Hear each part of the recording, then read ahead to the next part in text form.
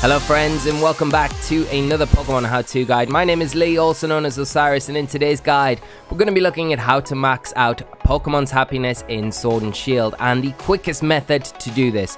So within this guide, I'm going to show you a step-by-step -step process for the what I believe is the quickest method to do this. We're going to do it from scratch, so we're going to start off by breeding ourselves a, a brand new Pokemon and then we're going to go through each step into getting this Pokemon's happiness maxed out as quick as possible to get the Pokemon we desired. So for this example, I'm going to use an Eevee because I'm going to be aiming to get a Sylveon. So what we want to do is just put two Pokemon into the nursery center and wait for an egg and then we can hatch this out and I'll show you the process with how to get Sylveon. So there we go, the egg is ready for us. Doesn't matter about natures or anything like that for this one. I do have Destiny Knot and the Everstone attached to my Pokemon but the IVs I'm not too worried about for this example so we're just gonna run up and down here and hatch this egg and while we do that I'll just talk to you about how to indicate different happiness levels on your Pokemon. So like EVs almost happiness counters run from 0 to 255 and anything in between that obviously 0 is no happiness and 255 is the max. So that is what we're kind of aiming for. Anything over 229 to 255 is really good for your Pokemon and will be an area where they're going to be able to evolve if they are dependent on evolving from happiness as their evolution method. Now I'm going to pull up a graphic on the screen now and you can see this is from Serebii.net. The link to this page will be down in the description below. It is my favorite resource place for all things Pokemon. You can go over there and you can check out what the happiness markers are for these Pokemon and I'm going to show you in a minute once this egg has hatched where we can go to check out what your Pokemon's happiness stage is at. So here we go, the egg is ready for us. And the beauty about hatching an egg as well with happiness, normally when you're hatching an egg out, the happiness is kind of bottomed out at 100 so you've already got that bonus 100 happiness on the pokemon because you've hatched it. Now if you do get a pokemon in a trade it will have zero happiness so the happiness will be reset. You can see here that we've got our little baby Eevee. It's not really the best nature, but it doesn't matter for this example. This is fine. So what we're going to do is the first thing that we need is a couple of items. So once you've got our baby Pokemon or the Pokemon that you want to raise the happiness with, you want to head up to Hammerlocke because this is an area, there's a specific house here where you can get all the things you need to help you out with the happiness. So once you're at the Pokemon Center, you want to head right and head to this house here. And once you're inside, you can see there are a few NPCs, but there's two in particular that want to speak to. This one here, this little boy, if you speak to him, he will tell you all about the happiness of a specific Pokemon. Which Pokemon of yours would you like to find out about? And the one that we want to find out about is Eevee. So he will give you a response, and that response will link into the level of happiness that that Pokemon has at this specific time. So, wow, I think you're on the way to becoming real good friends. So as you can see from the graphic on the screen right now, it is is I think you are on your way to becoming real good friends. So that is from between 100 to 149. So that's really good. That indicates that we're on the right track, but we want to be getting up to that 255.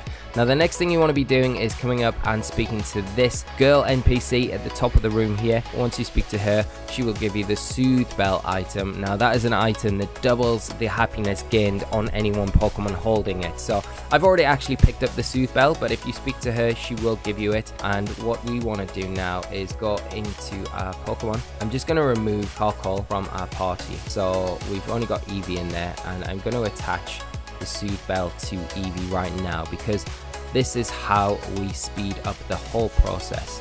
So I just need to find the Soothe Bell, wherever it may be. Might be at the bottom of my bag. There we go. Okay, so we'll give Eevee the Soothe Bell. And the next process to maxing out happiness is to come outside this house. You don't need to go anywhere. Just open up your menu screen and go to Pokemon Camp. So once we're inside Pokemon Camp, actually, the first thing we need to do, we need to come out of here, especially if you're looking to get Sylveon. We need to make sure that Eevee has got a fairy type move. So what we're going to do is just give it a candy, just to make sure that, yeah, let's give it one large candy, just to level it up. So we can make sure that it is going to gain one of those fairy type attacks. So learn sand attack, we don't want sand attack, we're looking out for a fairy type move. Quick attack is not and this is a really quick way to do this to make sure that once that Baby Doll Eyes. So Baby Doll Eyes is a fairy type move. So we will just get rid of Tail Whip and we'll get Eevee to learn that. And to be quicker as well and more streamlined with this, you can actually have a look on Eevee's move set list and see what level it learns all of these moves. And we want to come back out. You know it's got the fairy type move and we want to go into Pokemon Camp. So back in Pokemon Camp here, we want to call over at Eevee. You just press the A button and Eevee will hop over to us very cutely and then we want to take out a toy. So this is the first process in maxing a happiness out and probably this is the most tedious bit here where we're just playing with a toy and Eevee looks really angry so for maxing out happiness it doesn't make much sense to me but I mean, it works. Trust me. Like I said, this is the most tedious bit of it, and I'm actually going to show you the whole process to show you how quick you can max out this happiness, especially with the Soothe Bell attached. It is a very quick method, and unlike previous generations where it has taken a lot of time to max out a Pokemon's happiness, you're either cycling around for hours with the Pokemon in your party, giving it certain items and doing certain daily events that you have to wait for day on day to actually max out the happiness of a Pokemon. This is a really nice way for us in Sword and Shield to be able to do this pretty quickly. And I would say you can probably do one Pokemon in around 10 minutes. Like honestly, it's that quick. It's a really quick method to doing this. So the first method, like I say, is you need to get the Soothe Bell, you need to come into Pokemon Camp, and then you need to start playing with the Pokemon. And then there is another step after this where we will start cooking curry, and then we want to repeat this whole process once again. And I reckon we'll probably be able to do this about two times round, and that should max out happiness enough to get Sylveon into our party. So what you really want to be doing if you're getting Sylveon for a competitive Pokemon is making sure that that hidden ability is on the, the Eevee, which is Anticipation. We haven't done it for this method just to make things very quick for us. And this is the scene that we're wanting to look for. When Eevee is jumping around all happy, we know that it's done. And we want to just keep waving until this icon pops up above its head right here and it's gonna there we go there's the curry so we want to hop into the menu now go over to cooking. Want to start cooking. And there's a few things that you can do. So to, to start cooking, these are your main ingredients. So you can collect these from around the wild area.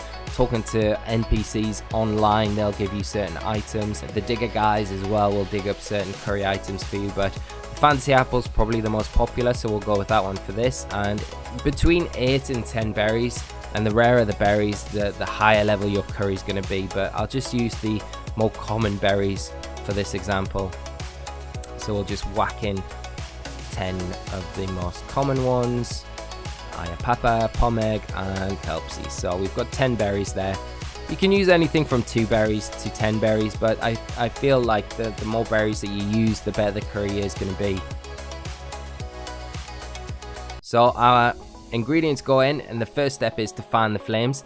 Now you want to be doing this at a steady rate. So the, the flames are about this range right now where the, the sparks are coming out the top of the curry. You don't want the flames to be getting too high, so you don't want to burn your curry. So around here is really good. The sparks are a good indicator. And then the next thing is to stir the curry. Again, don't do it too vigorously because if you do, it will spill out and it will mark you down. Your curry won't be as good. So you want to just be looking out for these sparks that's a really good indicator here to just stir around and just keep doing it.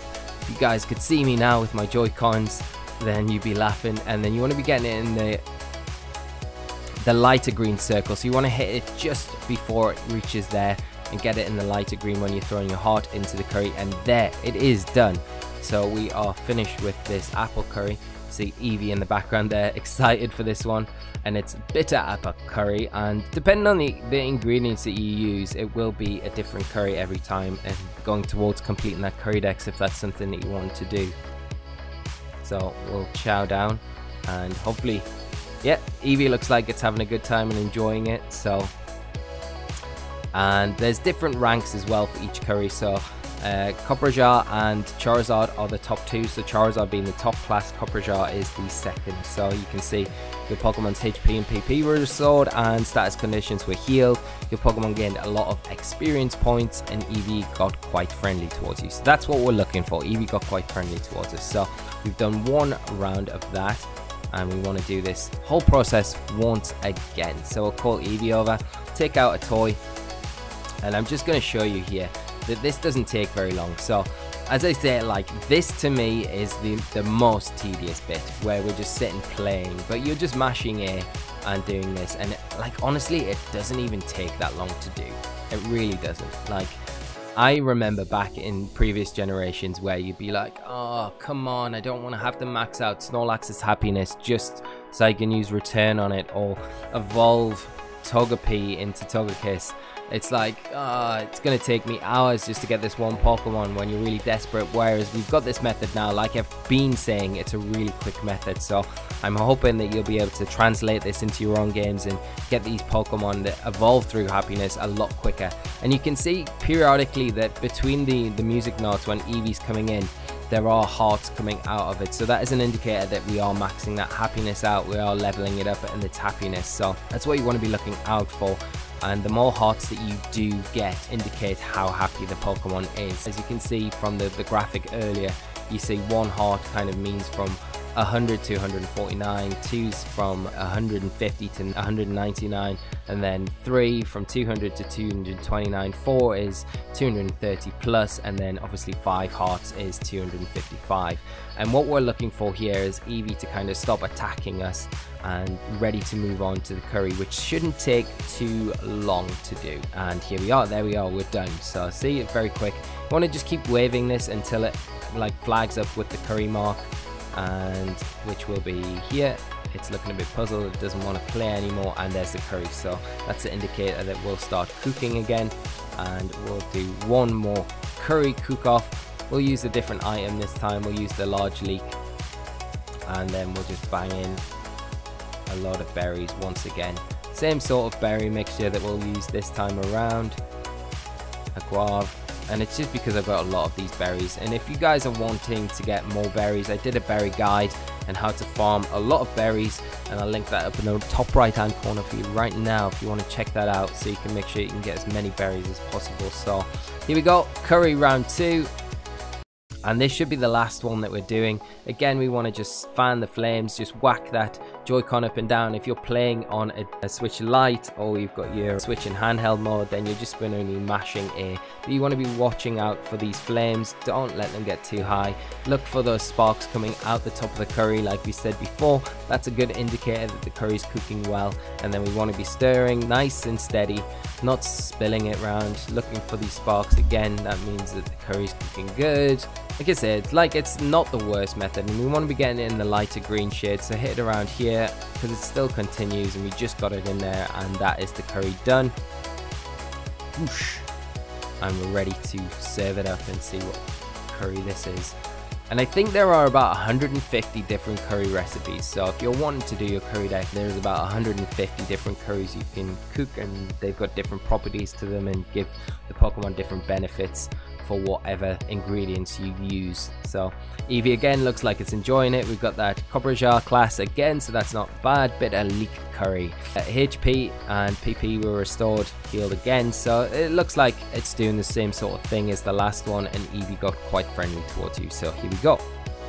Now we will call over Eevee and just have a look. So we'll just we'll just talk to Eevee, see where it's at for its happiness. So speak to Eevee. It's four hearts. Eevee looks like he wants to play. Let's chat. Eevee looks like he wants to play with other Pokemon. Okay. So what we're going to do is come out of camp and we'll hit the B button and just come out and uh, Eevee will gain some XP for that little Korean playtime that we've just done. And hopefully we should see it evolve. Here we go. We made sure that we wanted to get the Sylveon, so we've got that fairy type move on it. And fingers crossed, there we go. And it literally has been 10 minutes tops, I would say, to take because we had the getting the egg and all of that first. So there we go. That wraps up the guide for us. I hope this little method is helpful for you guys. It'll show you how to get the Soothe Bell, how to check your Pokemon's happiness as well. You just need to speak to this chap and you'll be able to use this method on any Pokemon in the game to max out their happiness and get that special evolution if you would want to. So I hope you found it useful, my friends. Thank you so much for tuning in. Have a great day. And remember to leave a like on the video if you have enjoyed it. Do subscribe to the channel for more Pokemon guides and Pokemon content. And I will see you all for the next one. So until then, take care and bye-bye.